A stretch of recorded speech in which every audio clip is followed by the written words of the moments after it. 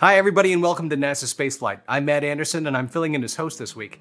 In this Cape Flyover episode, we'll take a look at the future of SpaceX's Starship in Florida, which may be a little bit different than we thought.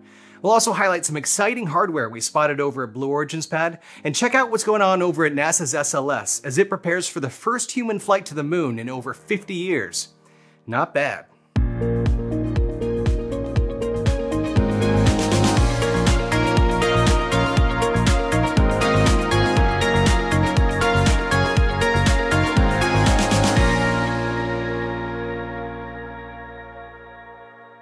Let's start off with Sawyer overviewing the latest on SpaceX's launch and recovery facilities. Hey Matt!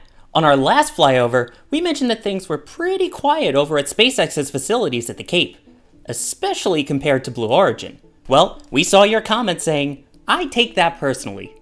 And honestly, it's understandable, since SpaceX is at its highest launch cadence so far. In fact, since that flyover, SpaceX has launched eight times from the Cape. But one big question remains. One Starship sized question remains. At 39A, where the Starship launch pad had been built, there's been a whole lot of nothing major. If you tune into our Space Coast live stream, you probably could see lifts and some small cranes around it from time to time, and we in fact captured that during this flyover. So while it might not look like a lot, they're definitely still working on it. But hey, at least the good news is, it's not totally abandoned. SpaceX is probably doing as much as they can here at 39A with what they've learned so far at Starbase. Maybe they're waiting to see the new water-cooled steel plates work in action before going ahead and installing them at 39A. Now if we just slide to the left. Everybody clap your head. Oh, nope. Wait, that's a copyright issue. anyway, next to the Starship Tower at 39A, we can see crews working to modify the Falcon Transporter Erector from Falcon 9 configuration to Falcon Heavy. The launchpad supported the launch of the CRS-28 resupply mission to the ISS just a few weeks ago.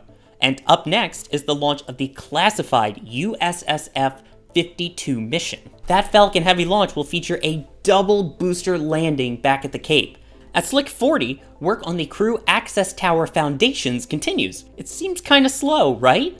Well, it's rather hard to do any work if rockets are launching every five or six days. That being said, on those days in between, they're still working on it, and heck, we could even be a few weeks away from seeing the first segments start rising. Actually, about that whole launch cadence thing, while we were flying, we saw the next Falcon 9 that was set to fly. We spotted more SpaceX hardware as well at Port Canaveral. A rare sight these days, most of SpaceX's fleet was at dock. Shannon and Megan, both Dragon recovery vessels, are awaiting the return of the CRS-28 Dragon capsule from the ISS in just a few weeks. That's where one of the two ships will lift it out of the water and eventually bring it back to land. Teams appear to be moving around a mock-up of a Dragon capsule that is normally used during recovery training. Multi-purpose logistics vessel Bob was also at port after supporting booster recovery operations for the CRS-28 mission. Its twin vessel, Doug, headed out earlier this week, tugging SpaceX's drone ship a shortfall of gravitas to support booster and fairing recovery for that Satria mission. A common sight these days is the presence of not one, but two ah ah ah boosters at the port. B-1073, which had supported the launch of Starlink Group 5-11, was standing tall on just read the instructions, all while recovery operators prepared to transport B-1077 back to the refurbishment facility for its next flight. By the way, you might notice a strange difference in these boosters. Take a look. One of them, B1077, has the Falcon 9 logo, while the other doesn't. Why is it? It's because B1073 is slated to fly as a Falcon Heavy side booster in the not too distant future. And of course, with SpaceX, it's purely for aesthetics. Pretty neat. Do you know what's neat? Especially about those Falcon Heavy boosters? The double landings. We all love them, right? Heck, I've seen it a few times in person and it never gets old. That booster in particular will actually be part of the first double drone ship landing. For that, it will need to ignite its engines three times. The launch, entry burn, and landing burns. But wait, which goes in which order and which engines are fired? If only there was a shirt at shop.nasaspaceflight.com that explained it. Well, what do you know? there's our launch, entry, and landing collection. If you were to look at the rocket engines while it's horizontal on the pad, these are the exact engines that would ignite in this precise layout. Now, I should say Alex wrote this neat fact just because he likes precision. Now, if you're not as nerdy as him, his words, not mine, you can still just grab it in commemoration of the 200th landing of a Falcon booster just about a week ago. There's even more to look at with SpaceX, including Roberts Road. But before we head there, let's head over to Blue Origin's campus and Adrian with what we saw from them. Adrian? Thanks, Sawyer. During our last flyover, we were spoiled by the amount of hardware that we spotted at Blue Origin's Exploration Park facilities. Things were a bit quieter this time, but that's probably not a bad thing. As you may remember, last time we spotted a New Glenn upper stage tank in the 2CAT facility, but this time the door is closed. This could mean that the tank is currently going through testing in a closed environment, or maybe the tank finished its testing process and has been removed from 2CAT. We can't be sure, but maybe we'll get a clue in our next flyover. The same goes for the tank we saw in TCAT. The door to the building was closed this time, so sadly we didn't get a look at any hardware. Toward the southern end of the campus, we see Blue making more progress with the newer facilities. At the vertical assembly area, we captured an interesting stand inside of the structure. It's hard to guess what this could be without knowing what the purpose of this building is yet, but this has definitely made us curious about the possibility of seeing more hardware out and about. Reef Pathfinder building now has a large door. Given the size of this door, it's likely that this building will support some pretty serious hardware, and pair that with the name of this building, we hope to see some early hardware for Orbital Reef rolling around in the near future. At Launch Complex 36, we were lucky enough to capture the full New Glenn transporter erector laying horizontal at the pad. While this isn't the first time we have seen the TE at the pad, there appears to be some extra hardware attached to it. The most interesting part of this is the circular structure with a hexagonal cutout in the middle. My writer says that this looks like the structure from the movie Contact, but as you can probably guess, I have no clue what that means. The diameter of the structure appears to be 9 to 10 meters, the same as New Glenn's engine section. The hexagonal cutout also is similar to what New Glenn's engine section has. What do you think this could be? Let us know in the comments below. Also new is what appears to be a stand for New Glenn first stage tanks at the Glenn Stage 1 test area just east of the launch pad. This area was first noted in updated site plans submitted in early 2022. While it's not completely clear what this area will be used for, we assume that it could be used to cryo-test tanks on New Glenn's first stage. To back this up, NOAA aerial image from February 2023 shows that there are propellant lines running to this area from the launch pad. We look forward to seeing tests beginning here in the near future. At the launch and landing facility, work continues on the large-scale expansion happening in the area. The most notable change in this flyover is the structure being erected for the Payload Processing Facility, or PPF, at the site known as Project Comet. As we have mentioned in previous videos, the customer for this project is currently anonymous, but stay tuned for any updates on that in our future videos once we'll find out who will be operating here. To the north of Project Comet's land, clearing and preparation continues for the northern areas known as Block 1 Site 2. Once the site is finished being cleared, we can expect to see some more progress with it being prepared for future customers, hopefully for something like this. Back to you, Sawyer. Thanks, Adrian, but you're kind of making me look bad here. With everything Blue is doing, I feel kind of awkward now talking about Roberts Road.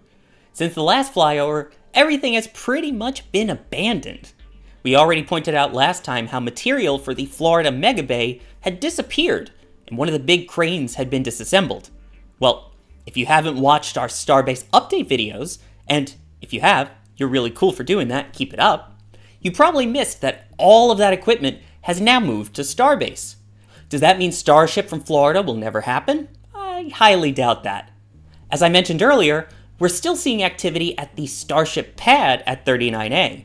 While SpaceX had abandoned the work on the tower segments, the Mega Bay, chopsticks, and other Starship related hardware, they were still outfitting this building, and now you can even see air conditioning units on its roof. But why?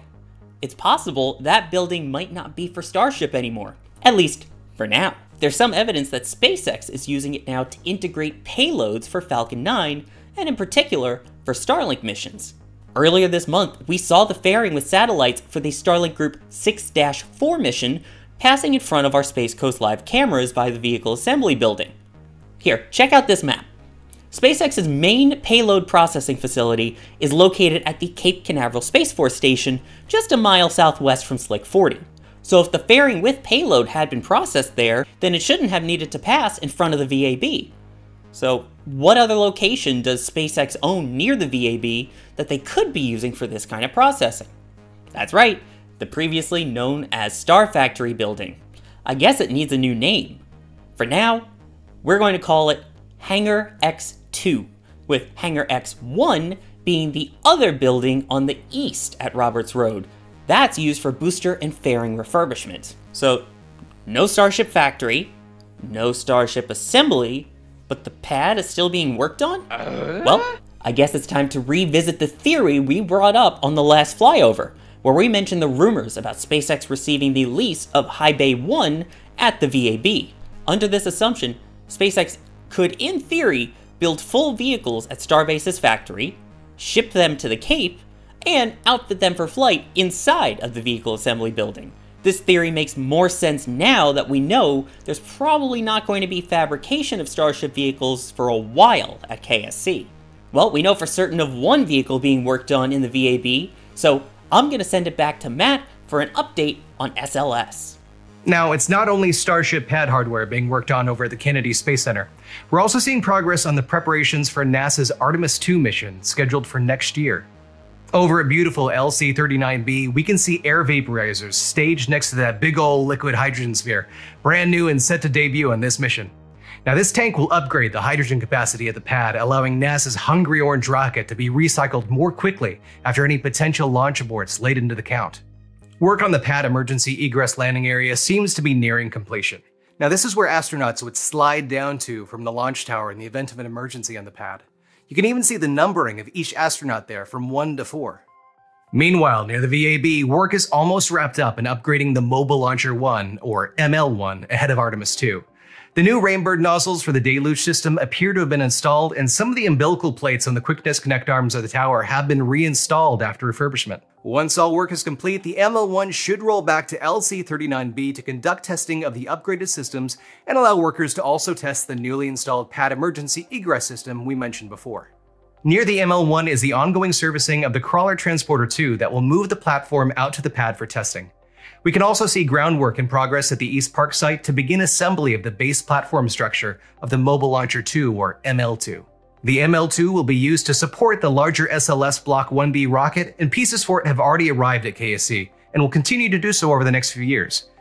While we see the construction of the ML2, the old Shuttle Mobile Launch Platform 3 is undergoing demolition at the old Apollo Mobile Service Structure Park site. It's sad to see this piece of history going, but as the saying goes, out with the old and in with the new. Now, that saying is probably very on point with what Adrian is overviewing, so Adrian, take it away. At ULA Space Launch Complex 41, the pad was empty following the exciting and successful static fire of Vulcan's two BE-4s on June 7th. There are still some steps left before we will see Vulcan fly, but if you want more info on that, check out our latest episode of This Week in Spaceflight. Moving down to Space Launch Complex 37B, we can see the amazing looking Delta IV Heavy stacked inside the mobile service tower ahead of its upcoming NROL 68 mission. This will be the second last launch of Delta IV Heavy before it's retired in favor of Vulcan. At Relativity's Launch Complex 16, we spotted some excavators moving dirt around at the northern side of the pad. And there's a good reason for that. Relativity has submitted plans ahead of upgrading the pad of Terran R. These plans almost exactly match the renderings that Relativity shared with us back in April. New additions include a launch pad and hangar properly sized for Terran R, upgraded propellant storage, two flare stacks, and more. We'll definitely have a front row seat to this construction as we continue to bring you more flyovers. Well, it looks like the Cape is full of activity. And while SpaceX's plans for Starship here may have changed, we still have lots of launches coming up to look forward to. And it's exciting progress from Blue Origin finally nearing the pad after all these years of waiting. So, with that in mind, we'll leave you with a question Which rocket will fly first from Florida, New Glenn or Starship? And choose wisely, because we'll be checking back in with you in a few years. And if you're a fan of Rocket Rivalries and you need more locks for your next passionate Discord argument, then consider watching this video from Adrian, featuring both Starship and Blue Moon in the Battle of Lunar Landers. You can also check out our latest Starbase update to get up to speed on what's going on over there. Well, that's all from the Space Coast. Thank you for watching, and we'll see you next time.